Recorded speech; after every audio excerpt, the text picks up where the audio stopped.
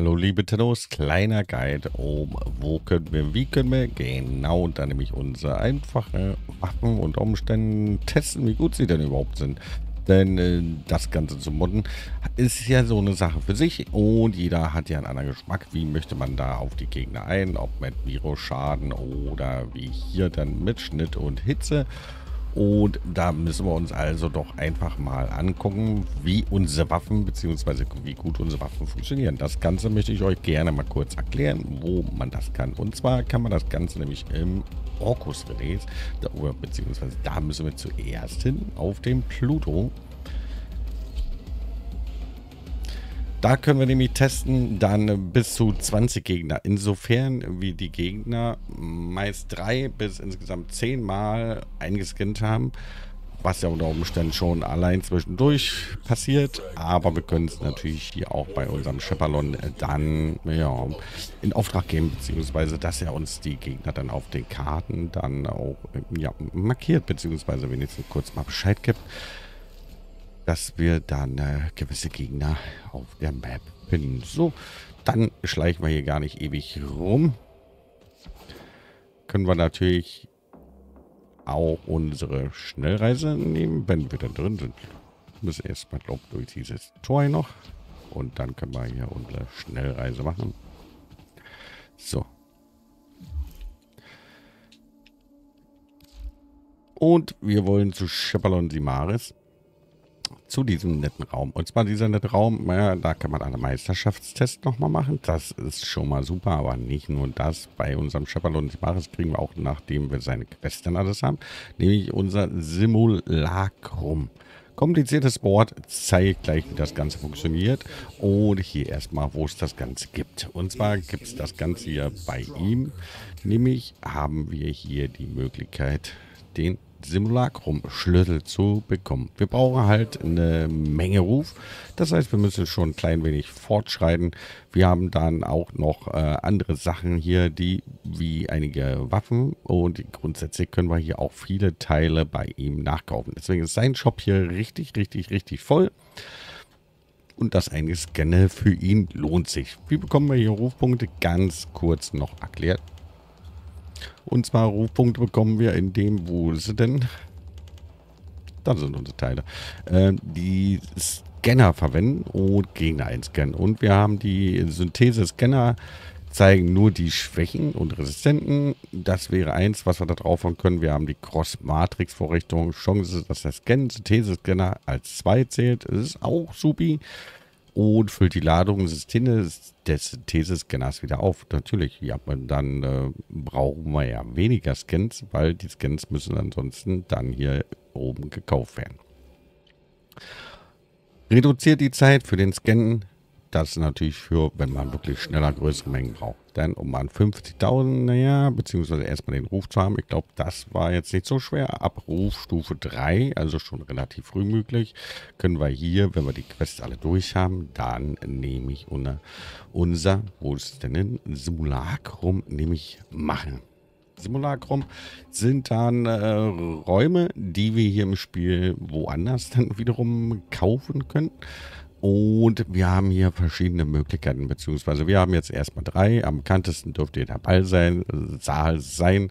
Ähm, die Zitadelle, muss ich jetzt sagen, ist für mich jetzt nicht so super. Wir nehmen einfach das hier rechts. Das ist definitiv besser. Dann sind wir doch auch schon drin. Das Ganze ging relativ fix. Dann haben wir unsere Einstellmöglichkeiten. Das ist in allen Räumen übrigens ja, gleich bzw. ähnlich aufgebaut. Da unten kommen dann unsere Gegner raus. Wir haben die freie Wahl zwischen allen gescannten Gegnern und wo uns hier noch was fehlt, da zeigt es dann an. Vollständiges Scannen zum Freischalten, den haben wir natürlich noch nicht, aber alle Gegner können wir denn hier verwenden, die wir oft genug gescannt haben. Also Leute, im Spiel dran denken, einfach auch mal die Gegner zu kennen, zu scannen, damit wir auch die Gegner hier freigeschaltet haben. Damit sind dann auch Bosse gemeint. Wir haben hier, wenn es denn mal da oben bleibt, die Möglichkeit hier dann auszuwählen, was wir insgesamt haben wollen. Einzelne Gegner oder ganze Packungen an Gegner. Und dann, ja, wir nehmen jetzt hier einfach mal Korpus. Äh, oder Grenier.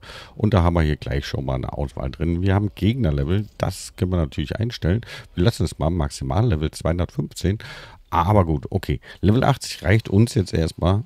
Wir haben der steht eine Fahrt, kommen die Gegner von weiter unten. Eigenbeschuss, ja, Eigenbeschuss passiert uns ja eher nicht so. Dann aber Gleiter Unsterblichkeit und Unsterblichkeit. Ja, wir wollen jetzt nicht unbedingt unsterblich sein. Machen uns die Sache auf Pause und so können wir doch einfach mal mit unserer Waffe da unten ein bisschen rumballern bei den Gegnern. Da können wir dann einfach nämlich testen, wie gut sind unsere Waffen. Und da sehen wir nämlich und stellen fest, wow, da ist definitiv noch Bedarf, weil die Gegner haben ja hier ein Riesenschild. Und da können wir zum Beispiel einfach rübergehen und uns andere Gegner, wenn die Korpus zum Beispiel, ja, für unseren Geschmack jetzt hier nicht sind oder dann können wir hier alles abwählen und eine neue Packung nehmen. Hallo? Müssen wir erst Gegner, töte Gegner. So, jetzt haben wir es leeren. Und dann können wir uns die neuen Gegner reinhauen. 20 Gegner. Und dann schauen wir doch mal, wie funktionieren denn unsere Waffen hier gegen. Jetzt haben diese Gegner haben nämlich ein Schild. Und da testen wir auch glatt mal eine andere Waffe. Wie gesagt, wir wollen ja hier einfach mal Let's Fetz unsere Waffen testen und ob das Ganze denn zum Beispiel auch für größere Gegner geeignet ist. Und da können wir natürlich alle unsere Fähigkeiten dann hier auch mit testen und probieren. Das stellt dieser schöne Modus nämlich dann wirklich sicher unser Simulacrum. Dafür ist es da. Wir haben dann auch Energie, die wir zusätzlich aufnehmen können und Lebenspunkte. Wir können die Gegner ja auch am Leben lassen, dann würden die jetzt alle auf uns schießen. Aber das zum Zeigen jetzt hier nicht unbedingt, wenn die alle wild durch die Gegend rennen. Wir konnten hier unsere Waffen wirklich gut testen und äh, ja, vielleicht auch Schlüsse draus ziehen, was an Schaden hier noch gemacht werden kann oder sollte, muss. Und wir haben auch die Möglichkeit, unsere Gegnerlevel vor allen Dingen größer zu machen. So, Leute, dann sind wir an dem fertig. Simulacrum verlassen. Und dann bleibt ja nur noch die Frage, wo kommt das Ganze her? Wir gehen gleich zum Orbiter.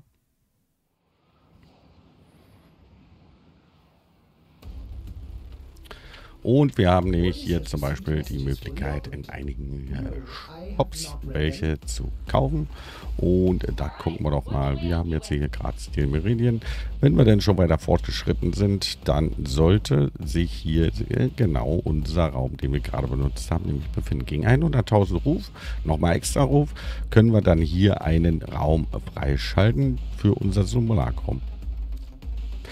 So, und das Ganze funktioniert natürlich bei den anderen Syndikaten auch. Das heißt, wir haben hier Red File Tempel von den Red Files noch und Simulacrum Raum kaufen wir ihn einfach, weil wir können ihn ja gut gebrauchen. Darauf achten, im Shop, es ist nicht ganz preisgünstig und wir bekommen natürlich dann gegen 100.000 Ruf über unsere Fraktion dann gut die Räume. Auch andere Händler bieten das Ganze und damit sind wir an der Stelle durch. Ich möchte mich bei euch bedanken. Ich hoffe, ich konnte euch helfen, gerade wenn es dann ans Modden dann selber geht hat man ja doch die ein oder anderen Probleme, dass man vielleicht vorher wissen will, ob seine Waffen dann ausreichend gut genug sind für die Gegner. Und dann schreibt auch gerne mal was in die Kommentare, wenn ihr vielleicht noch andere bessere Räume habt. Logischerweise. Es wird ja noch einige mehr geben in diesem Spiel. Und von daher danke fürs Zuschauen. Wer möchte, kann gerne ein Like da lassen, den Kanal abonnieren. Euer Remy.